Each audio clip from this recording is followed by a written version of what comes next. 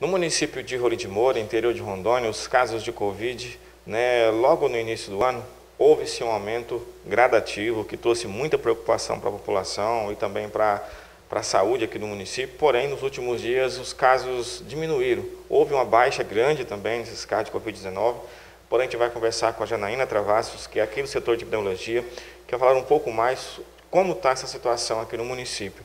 Hoje praticamente está controlado, Janaína. Há casos ainda, mas é bem menos né, referente ao início do ano. Ontem nós estávamos com 122 casos positivos da Covid. Tivemos uma queda nos últimos dias, é, diminuição em relação à coleta dos exames que são feitos na UPA. Então, realmente, a gente está tendo é, esse declive né, da, da, da curva em relação aos casos positivos de Covid. Nós chegamos a ter 800 casos, depois mil casos, quase 2 mil casos. Foi realmente as aglomerações que aconteceram no final do ano. E aí depois, nós, para baixar a curva, nós precisamos em torno de 60 dias, foram dois meses. Então, em março, a gente acredita que vai ser um mês tranquilo.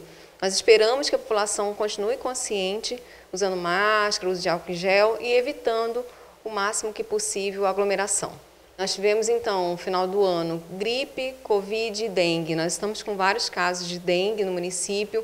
A população precisa cuidar dos seus quintais, é, pessoas que têm terrenos precisam manter sempre a higienização, a questão das fossas, que é super importante. Nós estamos com essas três doenças que podem levar a óbito e é grave. Outra situação é a vacinação para as crianças, né, que começou aqui no município. Hoje, como é que está essa vacinação?